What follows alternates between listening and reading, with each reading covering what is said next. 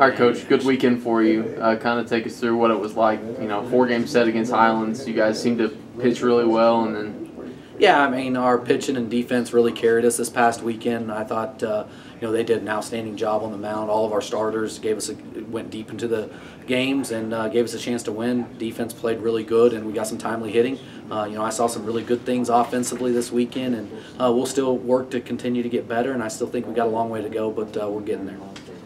Well, I only got to see snapshots of the games, but do you feel like the top of your lineup was kind of a catalyst for you guys offensively? Uh, a little bit. You know, I thought really one through nine. I mean, you know, the first game, uh, Mason Shiflett had a huge game. Uh, he hits in our eight hole, and he had two home runs.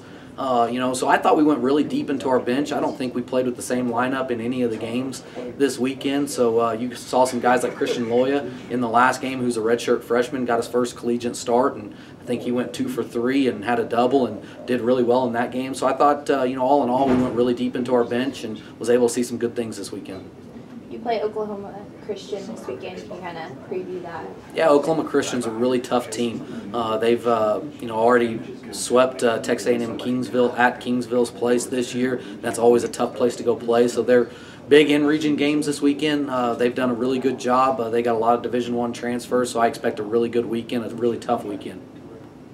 Um, your starters pitched really well, but the bullpen really kind of you know shortened the game. Does that make life really easy for you as a coach when you have a pen that kind of can uh, shorten the game a little bit? Yeah, you know uh, Thomas Garland, Kyle Tenius. Uh, you know we had a handful of guys step up really big uh, out of the bullpen for us. Did an outstanding job. Uh, you know uh, that's one thing that we've said. I mean even Luke Downs, um, you know came out of the pen. Um, you know this this year we're really deep. I mean we're 12 guys deep on the mound, and I've got confidence in all 12 of those guys. Um, you know, when you can go and you know go 12 deep, I mean, it definitely shortens the game for you a lot. You don't have to put as much pressure on those starters.